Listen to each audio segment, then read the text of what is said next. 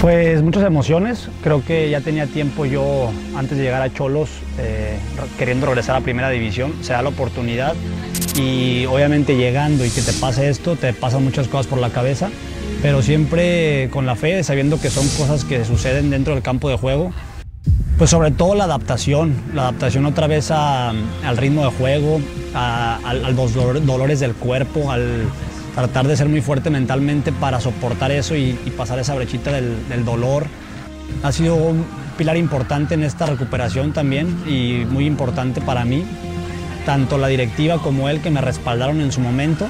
porque fue justo en la pretemporada, en la pretemporada pasada y y el hecho de escuchar esas palabras de aliento, pues siempre te dan eh, como que esa confianza y esa fe en ellos y en enfocarte en ti para poder regresar al máximo y poder adaptarte mejor. Pues dichoso y agradecido por otra vez estar en el campo de juego, que todo futbolista lo que quiere es estar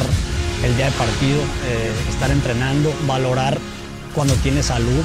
valorar tu cuerpo. Con esos tres partidos, con este inicio de torneo, la verdad me siento muy motivado, muy confiado en tomar este ritmo, en, ir creciendo poco a poco y retomar ese nivel para ayudar a mi equipo. Y me gustaría darle una alegría a la afición, a esta directiva que ha confiado en mí, eh, tratar de revertir esa situación y poder otra vez tener a Cholos en los primeros puestos tenemos mucha fe que así va a ser, en poder lograr un campeonato de la Liga MX con Cholos y cuando tienes la posibilidad en tu presente de,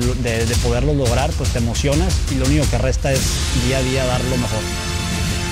El tema anímico, el tema mental, la intensidad dentro del campo, el no dejar de correr, el competir todas las pelotas, ganar los duelos individuales, estar concentrados, estar atentos porque son pequeños detalles los que hacen la diferencia en una vez cuando se hacen el partido mantener el ritmo de juego los 90 minutos, porque creo que nuestros primeros tiempos han sido buenos, creo que esa es la, principal, la principal meta, tratar de mantener el mismo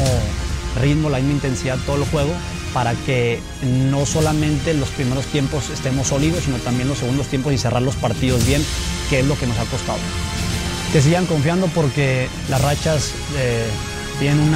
un término y, creo que esta racha negativa en la que está el equipo desde hace algunos eh, partidos y torneos